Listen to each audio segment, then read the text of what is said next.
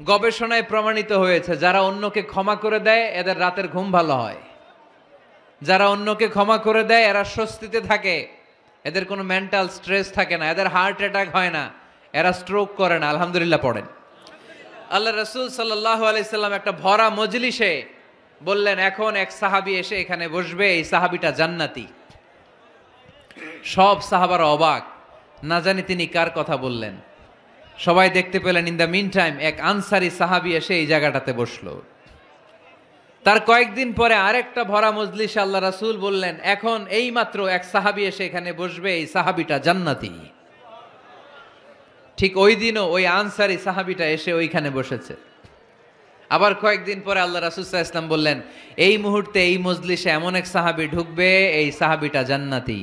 সবাই খেয়াল করে দেখল, ওই যে আনসারি সাহাবির কথা রাসুল্লাহ ইসলাম আগে বলেছিলেন ওই সাহাবি এসে ইন দ্য মিন টাইম ওই জায়গায় বসেছে, চিল্লায় পড়েন সুবাহান আল্লাহ সব সাহাবিরা অবাক হয়ে গেলেন। ঘটনা কি?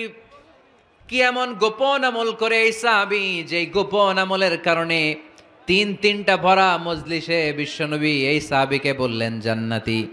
সৈয়দনা আব্দুল্লাহ ইবনে আমর ইবনুলাস গোপন তথ্য বের করার জন্য এই সাহাবির বাড়িতে চলে যে সাহাবিকে সালাম দিয়ে বললেন, ও আনসারি সাহাবি, আমার বাবার সাথে আমার ঝগড়া হয়েছে, আমি তিন দিনের জন্য তোমার বাড়িতে মেহমান হতে চাই। কয়দিনের জন্য? তিন দিন। ওই আনসারি সাহাবি বলল, আহলান ও সাহলান, খুশ আমদেদ, আপনি আমার মেহমান হবেন, এটা তো আমার সৌভাগ্য, আসেন, থাকেন। এই ঘরে আমি থাকি, এই ঘরটা ফাঁকা, আপনি এখানে থাকেন।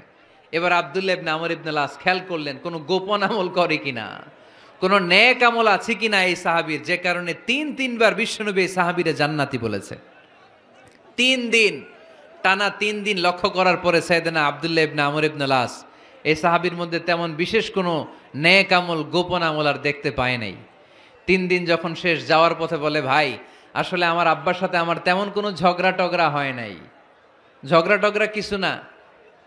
আমি বিশেষ একটা কারণে এসেছি। তিন, তিনবার বিশ্বনবী তোমাকে জান্নাতি বলে ঘোষণা করেছে। আমি দেখার জন্য এসেছি যে তুমি কি আমল করো। কিন্তু আমি তো বিশেষ কোনো আমল দেখলাম না। নামাজের সময় নামাজ পড়ো। তাহাজুদের সময় তাহাজুদ পড়ো। কোরআন তেলাওয়াতের সময় কোরআন তেলাওয়াত করো। আমি যা আবাদত করি তাই তো করো, বরং আমার আরও কম করো। কি এমন তোমার আমল?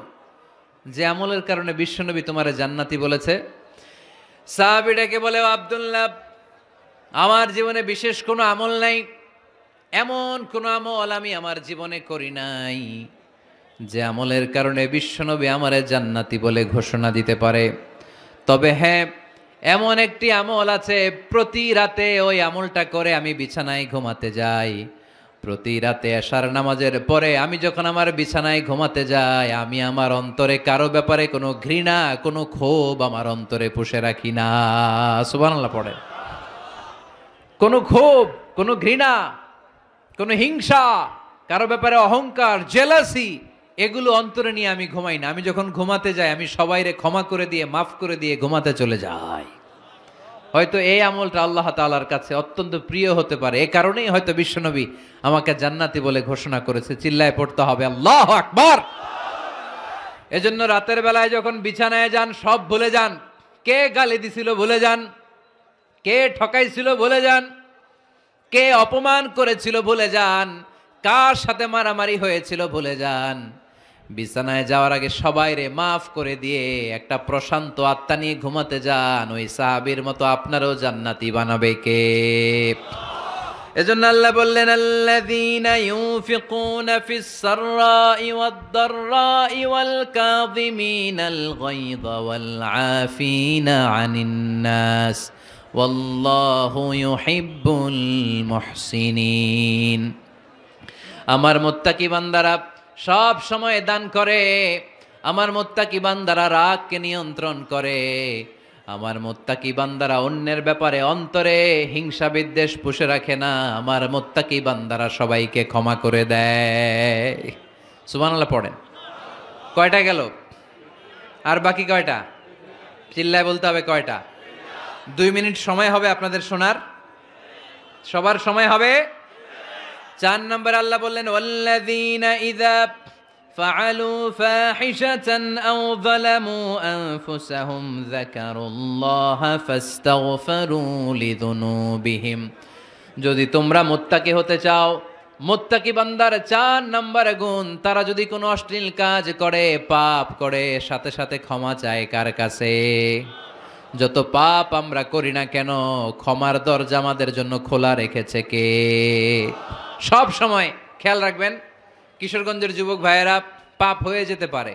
এটা ভেরি সিম্পল তুমি মিথ্যা বলে ফেলেছ, খাদ্যে ভেজাল দিয়েছ, ওজনে কম দিয়েছ, পরকিয়া করেছ, অবৈধ দৈহিক সম্পর্ক করেছ ব্লু ফিল্ম দেখেছ, নিজের উপর, নফসের উপর জুলুম করেছ, তারপরেও তোমার জন্য ক্ষমার দরজা খোলা রেখেছে কে? মনে রাখতে হবে, আমাদের পাপ যত বড় হোক, তার রহমতের দরিয়া তার চাইতেও বড়, ঠিক কিনা আমাদের গুনার অন্যায় যদি হয়, খালের পানির সমান, বিলের পানির সমান, আল্লাহর দয়া সাগরের পানির সমান।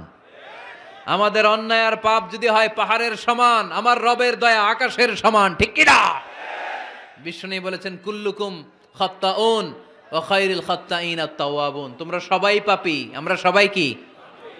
আওয়াজ করে বলেন না, আমরা সবাই কি? আমরা যে পাপি, এটা বলতে আপনাদের লজ্জা লাগে? আমরা সবাই কি? শুধু কি পাপি? পাপির ঘরের পাপি। চোদ্দ গোষ্ঠী পাপি। আমি পাপি, আমার বাবা পাপি, আমার মা পাপি, আমার দাদা পাপি, আমরা সবাই পাপি। আল্লাহ রসুল বললেন, কুল্লুকুম খত্তাউন তোমরা সবাই পাপি। ও খৈরুল খত্তাইন আত্তাউয়াবুন আর এই পাপীদের মধ্যে সবচেয়ে ভালো পাপি ওই পাপি যেই পাপি পাপ করার পরই তওবা করে। ইস্তেগফার পরে, ঠিক কি না? পৃথিবী না জানুক, আমি তো জানি। পৃথিবী না জানুক, আমি তো জানি। আমি কি পাপ করেছি, হায়। আমার পাপের করলে বিচার, বাচার আমার নাই উপায়। দয়াময় প্রভু, মাফ করো আমায়। মাফ করো আমায়। পড়েন, পৃথিবী না জানুক, আমি তো জানি আমি কি পাপ করেছি? হায়। আমার পাপের করলে বিচার বাচার আমার নাই উপায়। দয়াময় প্রভু, মাফ করো আমায়, মাফ করো আমায়। চিল্লায় পড়তে হবে সবাই, আমেন। এজন্য আল্লাহ বললেন, আমার মোত্তাকি বান্দারা যদি ভুল করে, আমার মোত্তাকি বান্দারা যদি অন্যায় করে, সাথে সাথে ক্ষমা চায় কার কাছে?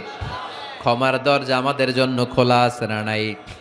আমরা যদি ভুল করি অন্যায় করি আমরা পড়ি রব্বানা ظلمنا أنفسنا وإن لم تغفر لنا وترحمنا لنكونن من الخاسرين ও আল্লাহ ভুল করেছি অন্যায় করেছি পাপ করেছি গুনাহ করেছি নফসের উপর জুলুম করেছি তুমি যদি মাফ না করে দাও আমাদেরকে মাফ করার দুনিয়াতে কেউ নাই ঠিক কি না এজন্য আল্লাহ বললেন, মোত্তাকিদের চার নাম্বার গুণ ভুল হতেই পারে। কিন্তু নিরাশ হয়েও না, হাল ছেড়ে দিও না। তোমাদের জন্য আমি আল্লাহর ক্ষমার দরজা খোলা আছে না নাই? চব্বিশ ঘণ্টা খোলা। সকালে ভুল করছেন, মাফ চাইবেন কার কাছে? দুপুরে ভুল হয়েছে মাফ চাবেন কার কাছে? রাতে ভুল হয়েছে, মাফ চাবেন কার কাছে? কারণ মুমিন বান্দারা জানে ওমাইয়া গফিরুদ্দুনুবা ইল্লাল্লাহ। মোত্তাকিনরা জানে, আল্লাহ ছাড়া গুনাহ ক্ষমা করার কেউ নাই। তাই গুনাহ হলে পাপ হলে আমরা ক্ষমা চাই কার কাছে?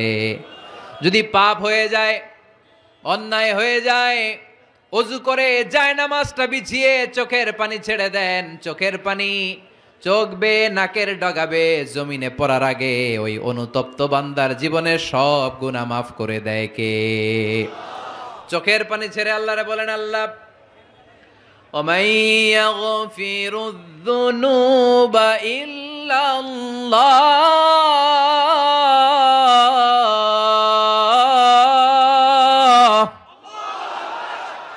ومن يغفر الذنوب إلا الله আল্লাহ ছাড়া গুনা ক্ষমা করার আর কোনো দ্বিতীয় মাবুদ আমাদের আর আছে নাকি?